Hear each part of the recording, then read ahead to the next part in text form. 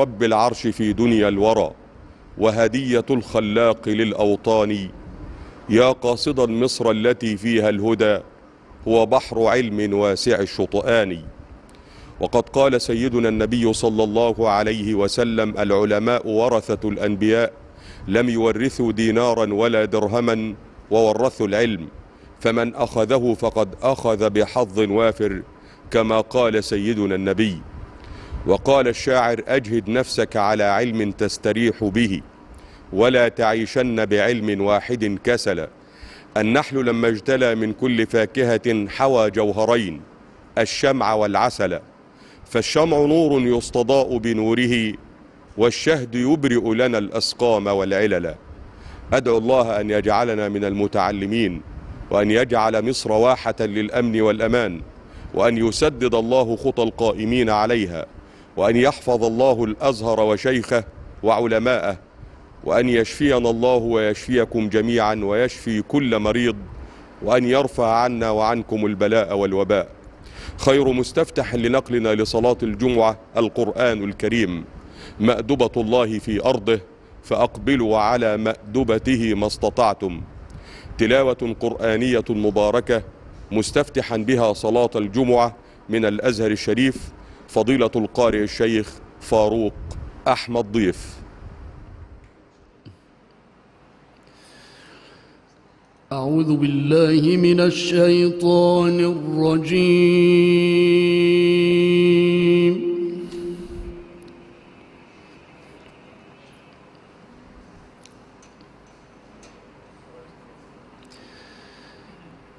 بسم الله الرحمن الرحيم.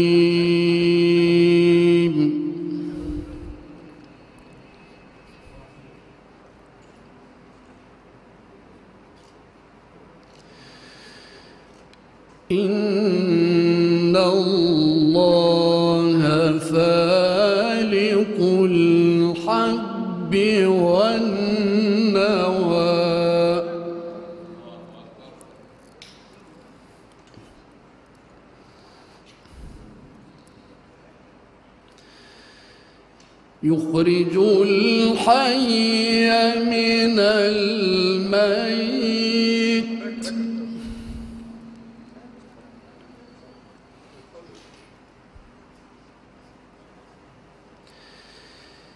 يخرج الحي من الميت.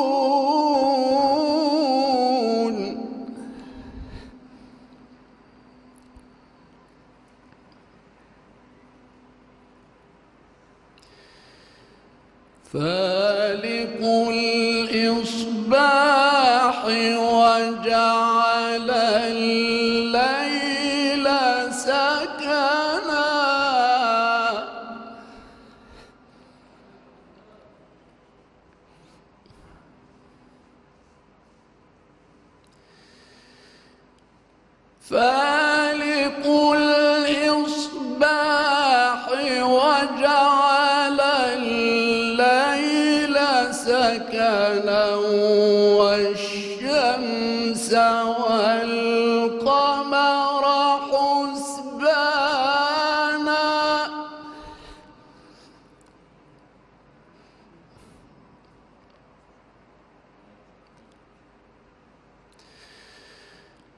والشمس والقمر حسبانا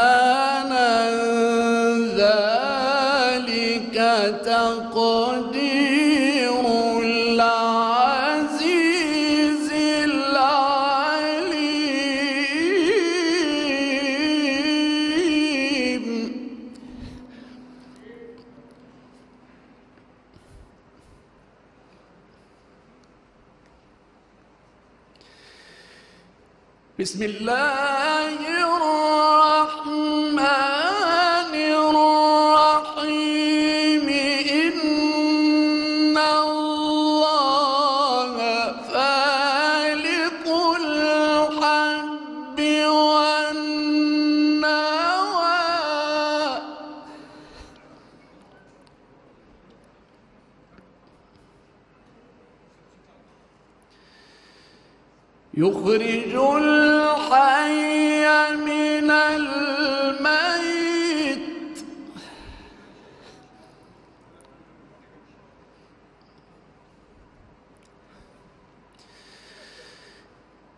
يخرج الحي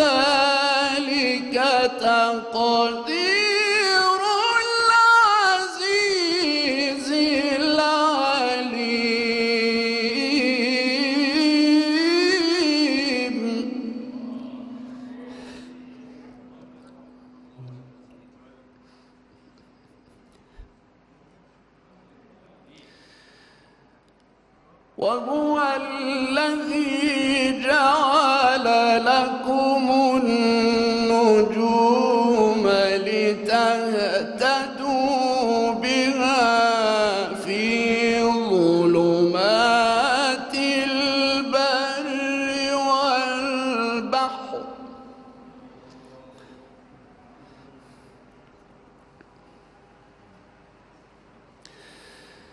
قد فصلنا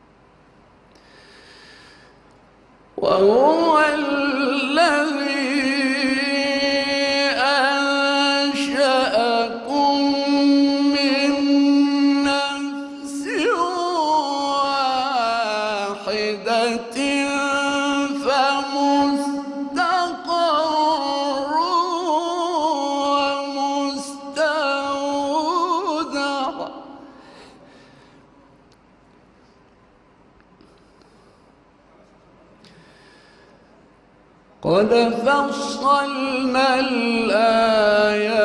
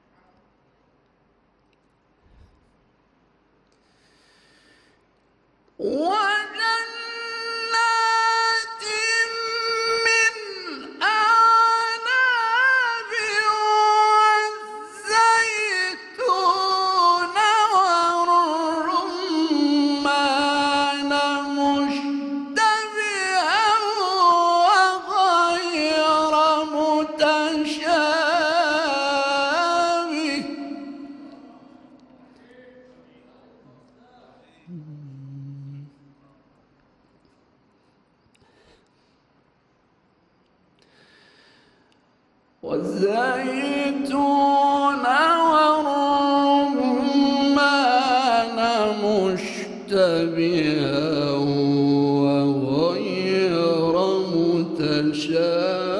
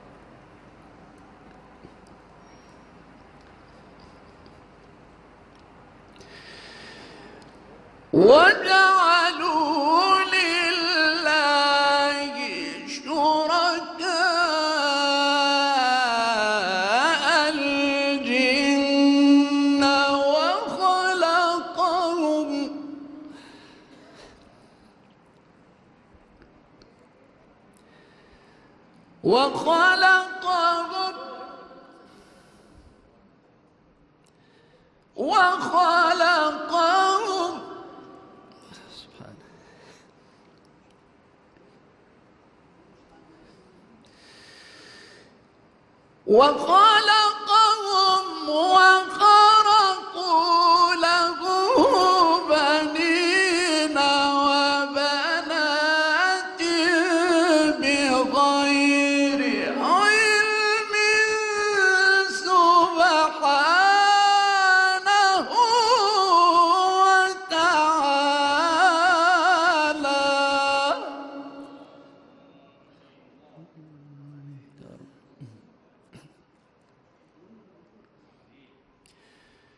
سبحانه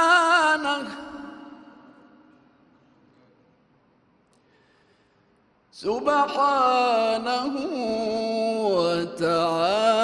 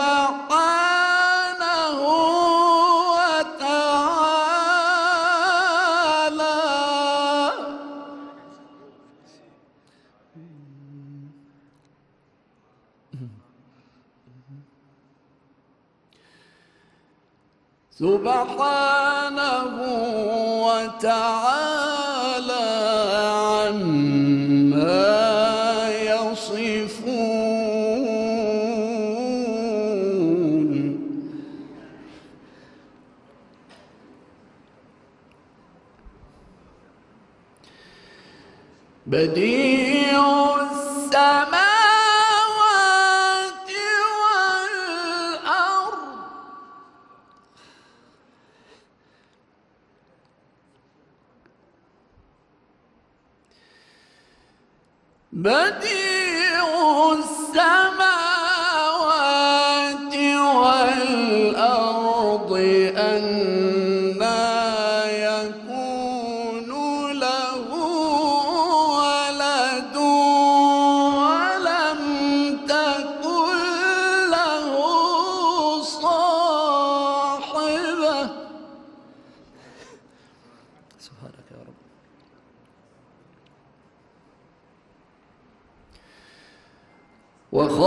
وكل شيء.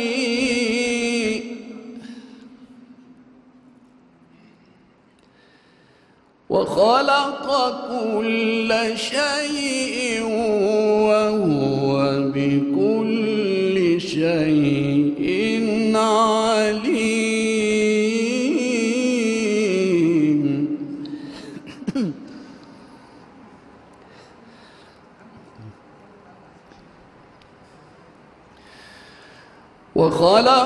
كل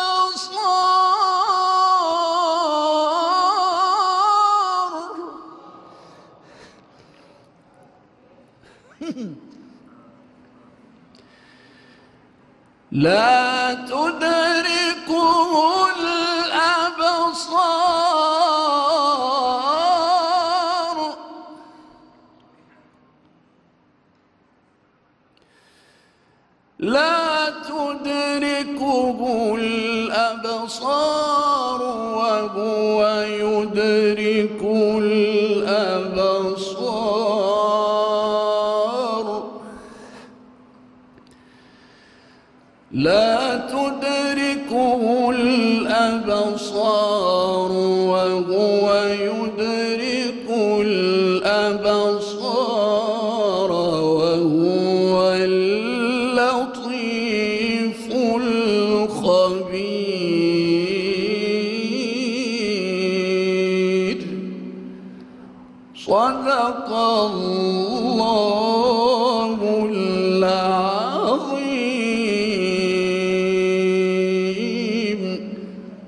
الفاتحة.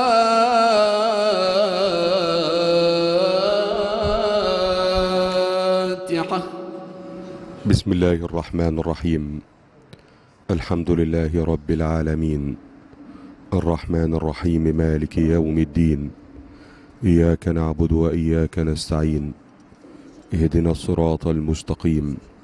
صراط الذين أنعمت عليهم. غير المغضوب عليهم ولا الضالين آمين. وبعد فقد استمعتم إلى تلاوة قرآنية مباركة تلاها القارئ الشيخ فاروق أحمد ضيف حيث ننقل لحضراتكم صلاة الجمعة على الهواء مباشرة عبر شاشة القناة الأولى والفضائية المصرية هنا في الجامع الأزهر الشريف بمدينة القاهرة. أرى إخوانكم المصلين والآن يؤذن لصلاة الجمعة. يرفع نداء الحق الشيخ مصطفى الزين. الله أكبر الله أكبر. الله أكبر الله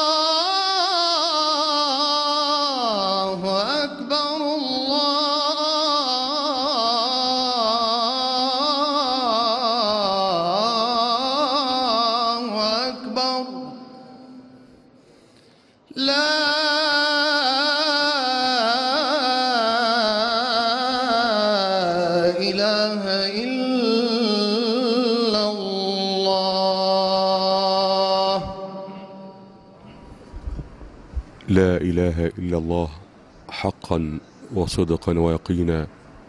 اللهم ربنا رب هذه الدعوة التامة والصلاة القائمة. آت سيدنا محمدا الوسيلة والفضيلة والدرجة العالية الرفيعة. وابعثه اللهم المقام المحمود الذي وعدته. وصل اللهم وسلم وبارك على سيدنا محمد وعلى آله وصحبه وسلم تسليما كثيرا. وبعد فقد رفع نداء الحق من الجامع الأزهر الشريف بمدينة القاهرة حيث ننقل لحضراتكم صلاة الجمعة على الهواء مباشرة عبر شاشة القناة الأولى والفضائية المصرية وبعض القنوات الفضائية الخاصة وإذاعات جمهورية مصر العربية من القاهرة. رفع نداء الحق الشيخ مصطفى الزين أحد أئمة الجامع الأزهر الشريف بمدينة القاهرة. مشاهدينا الكرام لقد حث الإسلام على طلب العلم وأولى العلم أهمية في حياة الإنسان. فما أحوجنا إلى أن نأخذ بأسباب التفوق العلمي في مجالات مختلفة. وإننا إذا تفوقنا في أمور دنيانا احترم الناس ديننا فعلينا أن نجتهد في طلب العلم وأن نكون على قدر المسؤولية كل في موقعه عالما ومتعلما فنيا ومتقنا. كل في مجاله. جعل الله مصر امنا امانا ورفع عنا وعنكم البلاء والوباء. ويكفي العلم شرفا أن الله عز وجل لم يأمر نبيه صلى الله عليه وسلم بالازدياد من شيء في الدنيا إلا من العلم. قال تعالى وقل رب زدني علما. ويقول صلى الله عليه وسلم من سلك طريقا يلتمس فيه علما سهل الله له طريقا إلى الجنة. وقد بين صلى الله عليه وسلم أن العلماء ورثة الأنبياء فهنيئا لمن مشى على ضرب الأنبياء لأن العلم هو سبب تقدم الأمم. فضيلة الأستاذ الدكتور محمد أبو زيد الأمير نائب رئيس جامعة الأزهر الشريف يعتلي درجات المنبر ليلقي خطبة الجمعة. السلام عليكم ورحمة الله. الله أكبر الله أكبر. الله أكبر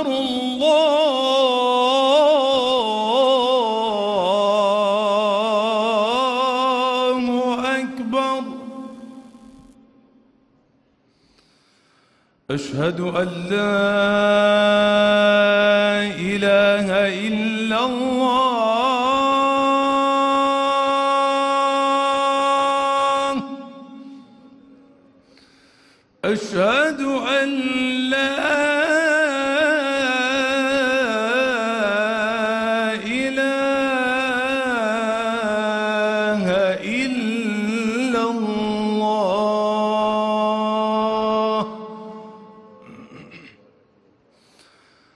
أشهد أن محمد رسول الله.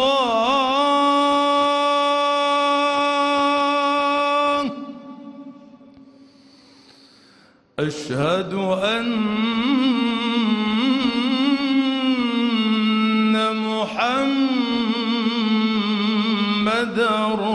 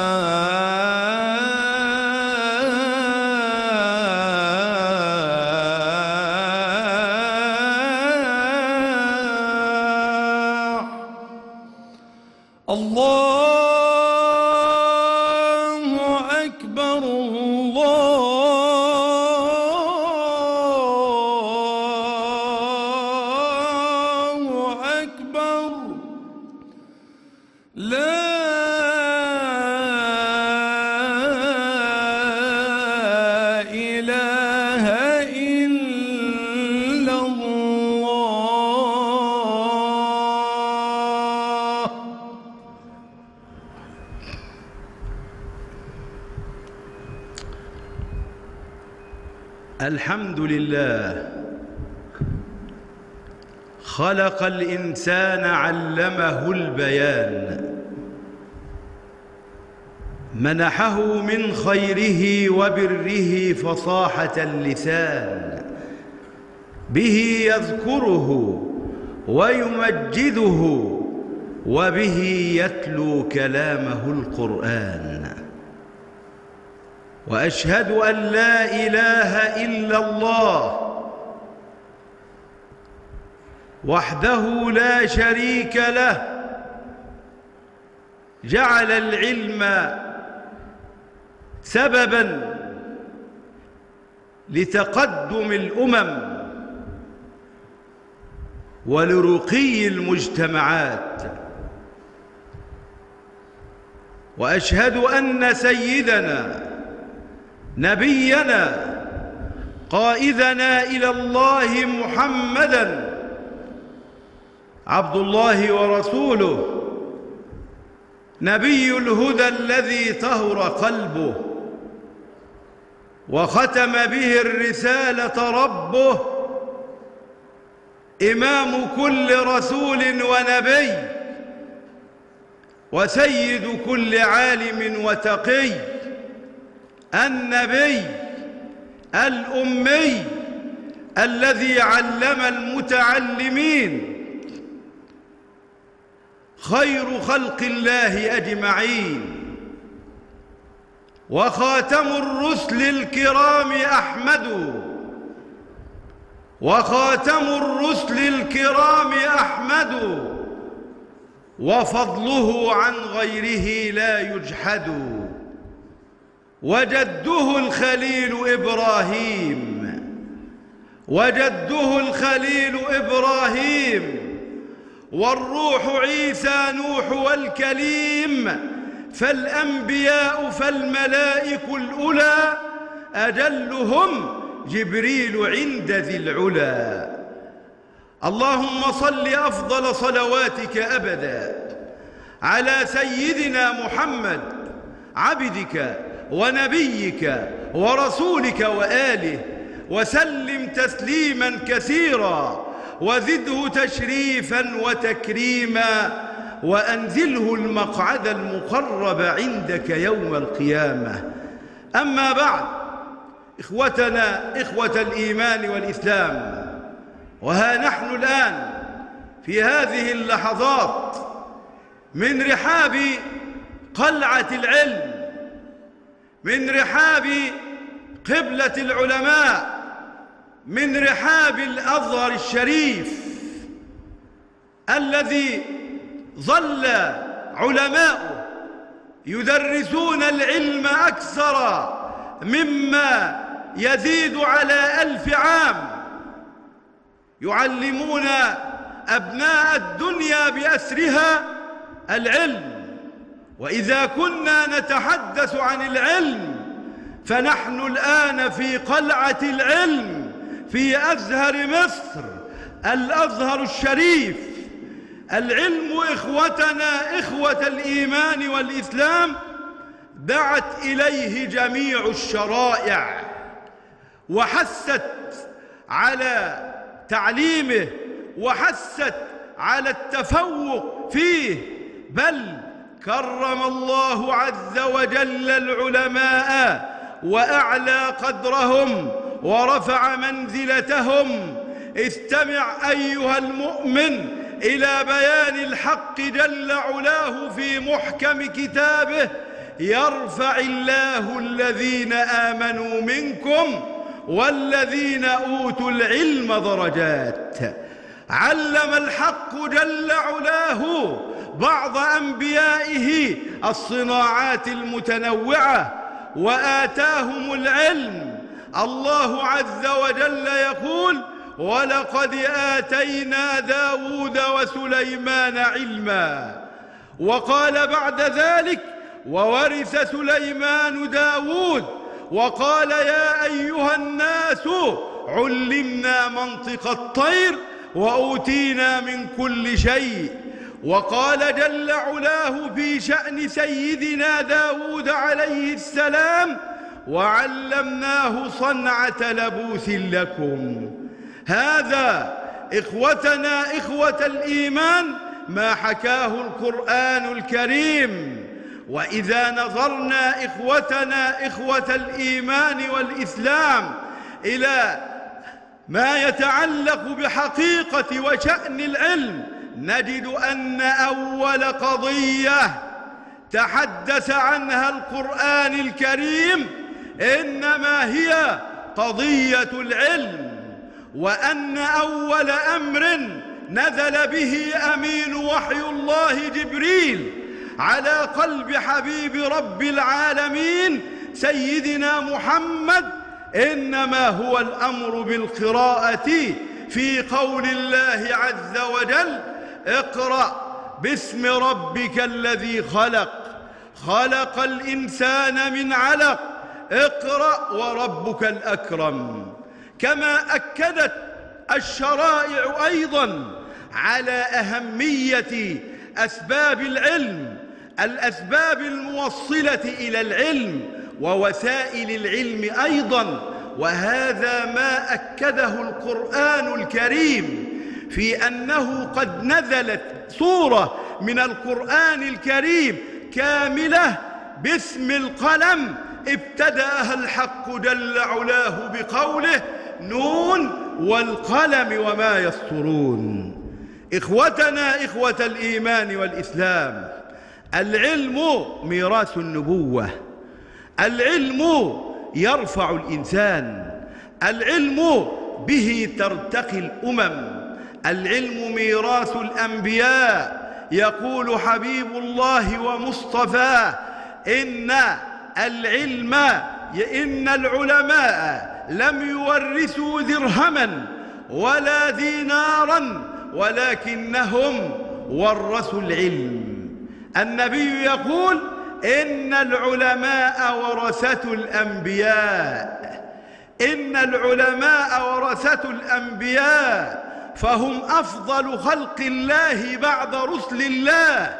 وفي معرض هذا يقول شيخنا الخطيب شاعر النبي الحبيب وأفضل الخلق بعد الرسل منزلة. العاملون الأولى بالعلم قد عملوا. أفضل خلق الله بعد رسل الله إنما هم العلماء العاملون بعلمهم المخلصون لربهم وأفضل الخلق بعد الرسل منزلة. العالمون الأولى أي الذين هم قد عملوا بالعلم وأخلصوا لله إذ اجتمع فيهم العلم والإخلاص والعمل كما ورد عن مشايخنا إن من أجل ما يعبد به الحق جل علاه العلم والعمل والإخلاص واعبده بالعلم والإخلاص إنهما روح العبادة من فعل ومن كلم. إخوتنا إخوة الإيمان والإسلام العلم الذي نقصد والعلم الذي نعني به ما هو؟ العلم الذي نعني به والعلم الذي نقصده أيها المؤمنون إنما هو كل علم نافع للبشرية جمعاء. أيا كان سواء كان يتعلق بعلوم الدين أم كان يتعلق بعلوم الدنيا. فالعلم النافع الذي نقصده إنما هو العلم بشؤون الدين والدنيا لا فرق في ذلك. بين العلوم الدينية والعلوم التطبيقية والعلوم الفلكية والعلوم الهندسية والعلوم التربوية والاجتماعية وكذلك أيضا العلوم الحربية لا فرق بين ذلك كله وهذا ما أكده القرآن الكريم في قول المولى تبارك وتعالى إنما يخشى الله من عباده العلماء. جاءت هذه الآية الثامنة والعشرين من سورة إيه؟ فاطر. جاءت في معرض الكلام عن الكون السماء والأرض والدواب والناس والأنعام. استمع أيها المؤمن إلى بيان قول الله تعالى ألم تر أن الله أنزل من السماء ماء فأخرجنا, فأخرجنا به ثمرات مختلفا ألوانها.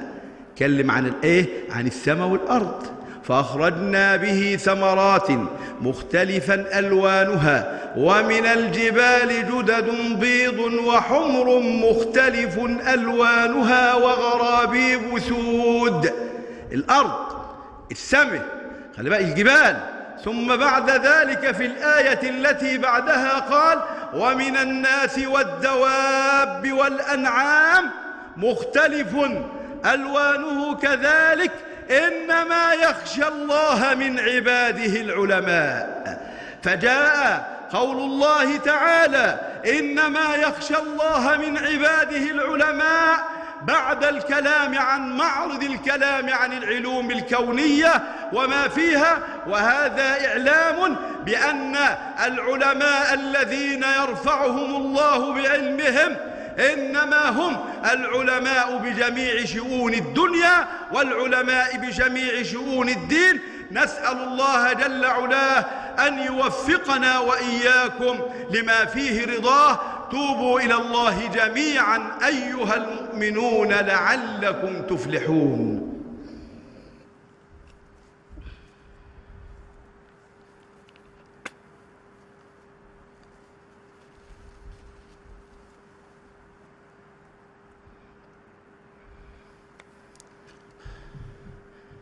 الحمد لله رب العالمين. واشهد أن لا إله إلا الله وحده لا شريك له الملك الحق المبين. أشهد أن سيدنا محمدا عبد الله ورسوله الصادق الوعد الأمين خير من طلع على الوجود. سيدي يا رسول الله طلعت على الوجود أتم رحمه وأعظم منة وأجل نعمه. ويوم الحشر تكشف كل غمة وتمنح فيه محمود المقام. اللهم صل عليه وعلى آله وأصحابه أجمعين. أما بعد إخوتنا إخوة الإيمان والإسلام ينبغي علينا أن نعلم أنه إذا كانت المقصود بالعلوم سائر أنواع العلوم فينبغي علينا إخوتنا إخوة الإيمان والإسلام أن نعلم أن استشراف المستقبل فيما يفعله العلماء إنما هو أمر مطلوب وأنه ينبغي عليهم أن يعملوا ليس للحاضر فقط بل للمستقبل كي تستفيد منه الأجيال القادمة. وهذا ما ورد عن صحابة سيدنا رسول الله وما دعا إليه صحابة النبي فهذا سيدنا عمر ابن الخطاب الخليفة الراشد. يقول عبارة موجدة في هذا الشأن لا تقفوا بأبنائكم عند علومكم. انت توصلت النهاردة الحاجة بالنسبة لك لا تقف عندها بالنسبة لابنك. هذه دعوة إلى استشراف المستقبل. لا تقفوا بأبنائكم. انظر إلى كلام سيدنا عمر بن الخطاب الذي يوزن بالذهب والذي ينبغي أن نعيه وأن تعيه الأمم حتى يكون لها الرقي والتقدم. يقول لا تقفوا بأبنائكم عند علومكم. لا تقفوا بأبنائكم عند علومكم. لماذا؟ لأنهم خلقوا لزمان غير زمانكم. هذه دعوة من خليفة رسول الله إلى استشراف المستقبل وأنه ينبغي علينا ألا نقف في رؤانا على الحاضر إخوتنا إخوة الإيمان والإسلام كما نراه الآن في هذا العصر من تطلع ومن رؤية. هذه الرؤية تتعاقبها الأجيال من نهضة تنموية. هذه النهضة التنموية ليست لنا فحسب وإنما للأجيال القادمة. هذه الأجيال سيشهد التاريخ بعد ذلك على ما قامت به القيادة الآن من أمور. هذه الأمور وإنجازات وإننا إخوتنا إخوة الإيمان والإسلام إذا نظرنا إلى ما نحن فيه نجد أن التنمية أو النهضة التنموية التي تشهدها مصر الآن في هذا العصر حصاد سبع سماوات حصاد سبع سنوات النهضة التنموية التي تشهدها مصر الآن حصاد سبع سنوات في عهد قيادة الرئيس عبد الفتاح السيسي رئيس الجمهورية. هذه النهضة إخوتنا إخوة الإيمان والإسلام تمثل طفرة في سائر المشروعات العملاقة والتي منها إخوتنا إخوة الإيمان والإسلام شبكة الطرق القومية التي نراها في سائر أنحاء مصر ومشروعات التعليم والأموال الطائلة التي تنفق على تطوير التعليم ورقمنته والرقي بالعلم والعلماء إخوتنا إخوة الإيمان والإسلام. وجيل جديد من المدن الجديدة والعاصمة الإدارية الجديدة بما فيها من مشروعات تنموية لتجعل مثالا هذا المثال عالميا يحتذى به على أن مصر إنما هي بلد الحضارة منذ ما يزيد على ألف عام. إخوتنا إخوة الإيمان والإسلام هذه المشروعات إنما جاءت نتيجة جهد مبذول ونتيجة رؤية سياسية. هذه الرؤية ثاقبة رؤية قائد وإرادة شعب وعمل متواصل ليل نهار في فترة سبع سنوات مضت. إخوتنا إخوة الإيمان لنصل ببلدنا مصر إلى أعلى الدرجات في الرقي العلمي وسائر أنواع الأمور إخوتنا إخوة الإيمان والإسلام. وبهذه المناسبة ومن فوق منبر الأزهر الشريف يتقدم الأزهر الشريف جامعا وجامعة بمناسبة بمناسبة البداية أو العام الثامن مرور ثمانية أعوام على ثورة 30 يونيو نتقدم ويتقدم الأزهر الشريف بخالص التحية والتهنئة إلى قائد مصر فخامة الرئيس عبد الفتاح السيسي رئيس الجمهورية أولا. ونتقدم أيضا بخالص التحية والتقدير إلى شعب مصر العظيم وإلى جيش مصر الباسل. وإلى شرطة مصر الساهرة على ما بذلوه وما يبذلونه من مجهودات هذه المجهودات تصب في صحيفة حسناتهم. ولا ننسى إخوتنا إخوة الإيمان والإسلام بمناسبة حلول الذكرى الثامنة لثورة يونيو لا ننسى أبناءنا شهداء الوطن. لا ننسى شهداء الواجب فإننا نذكرهم ونتذكرهم بكل إعزاز وكل فخار وكل تقدير لأنهم قد ضحوا بأنفسهم حتى نصل إلى ما نحن فيه. فإننا لا ننسى بكل الفخر والإعزاز أن نقدم التحية لشهدائنا شهداء الوطن شهداء الواجب شهداء الجيش شهداء الشرطة سائلين المولى تبارك وتعالى أن يجعلهم يسرحون في جنان الخلد وأن يوفق ذويهم لما فيه رضاه. ونسأل الله جل علاه أن يجعل مصر واحة للأمن والأمان. اللهم اجعل مصر واحة للأمن والأمان. اللهم اجعل مصر واحة للأمن والأمان. وفق اللهم قائدها.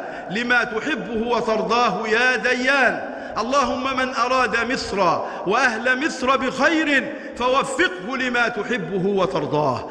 ومن أراد مصر وأهل مصر بسوء نسألك اللهم يا ذا الجلال والإكرام أن تجعل كيده في نحره وأن تجعل تدبيره تدميرا له إنك يا مولانا على كل شيء قدير. اللهم اغفر للمسلمين والمسلمات والمؤمنين والمؤمنات الأحياء منهم والأموات. إنك يا مولانا سميع قريب مجيب الدعوات. اللهم لا تترك فينا صاحب حاجة إلا قضيتها له ويسرتها له يا خير المسؤولين. اللهم لا تترك فينا ولا منا ولا بيننا صاحب حاجة إلا قضيتها له يا خير المسؤولين. انصر اللهم الإسلام وأعز المسلمين. إله الخلق إله الخلق إله الخلق نولنا الأماني. وجنبنا مضلات الزمان. إله الخلق نولنا الأماني وجنبنا مضلات الزمان وأسكنا فراديس الجنان ومتعنا بوجهك يا كريم. اللهم متعنا بالنظر إلى وجهك الكريم وشفع فينا سيد المرسلين. عباد الله إن الله يأمر بالعدل والإحسان وإيتاء ذي القربى وينهى عن الفحشاء والمنكر والبغي يعظكم لعلكم تذكرون. اذكروا الله يذكركم في الملأ الأعلى وأقم الصلاة. الله أكبر الله أكبر. أشهد أن لا إله إلا الله. أشهد أن محمد رسول الله.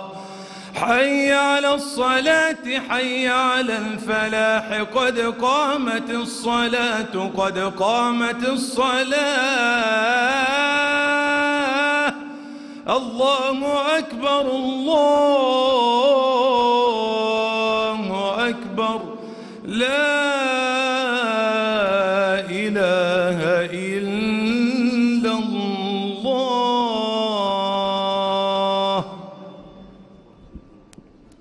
استقيموا يرحمكم الله. أقبلوا على الله بقلب خاشع ليرضى عنكم. أقبلوا على الله بقلب خاشع ليرضى عنكم.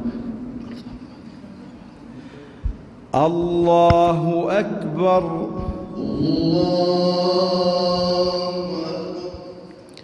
بسم الله الرحمن الرحيم الحمد لله رب العالمين الرحمن الرحيم مالك يوم الدين إياك نعبد وإياك نستعين اهدنا الصراط المستقيم صراط الذين أنعمت عليهم غير المغضوب عليهم ولا الضالين.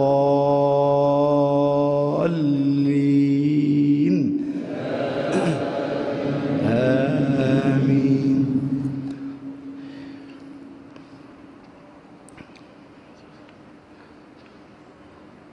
قد أفلح من تزكى وذكر اسم ربه فصلى بل تؤثرون الحياة الدنيا والآخرة خير وأبقى.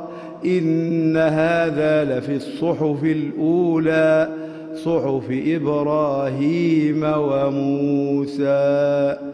الله أكبر.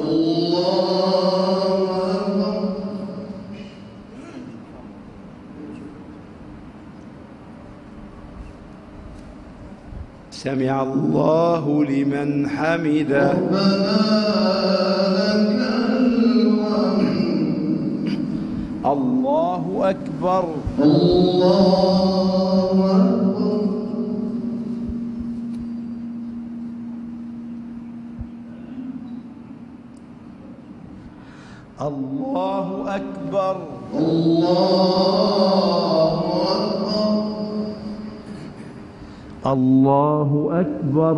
الله أكبر.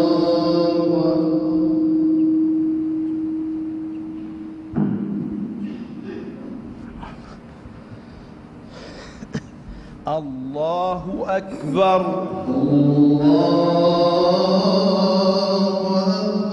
بسم الله الرحمن الرحيم.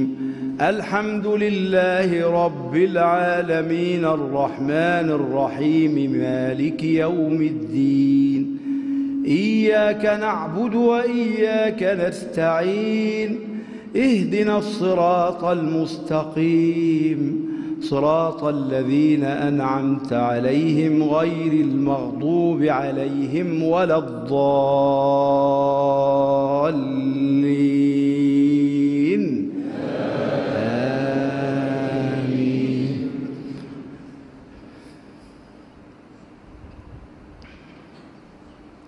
آمين أفلا ينظرون إلى الإبل كيف خلقت وإلى السماء كيف رفعت وإلى الجبال كيف نصبت وإلى الأرض كيف سطحت.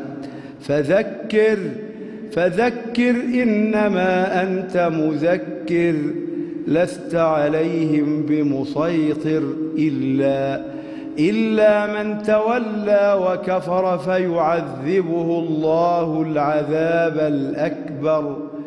إن إلينا إيابهم ثم إن علينا حسابهم. الله أكبر.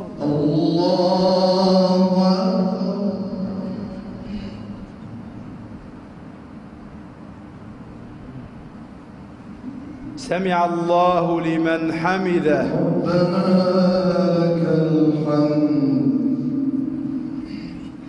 الله أكبر. الله أكبر.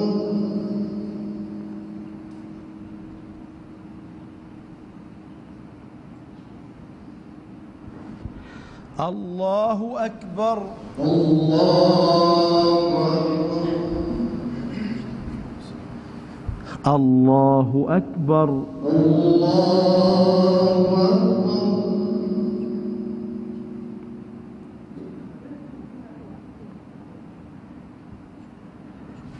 الله أكبر. الله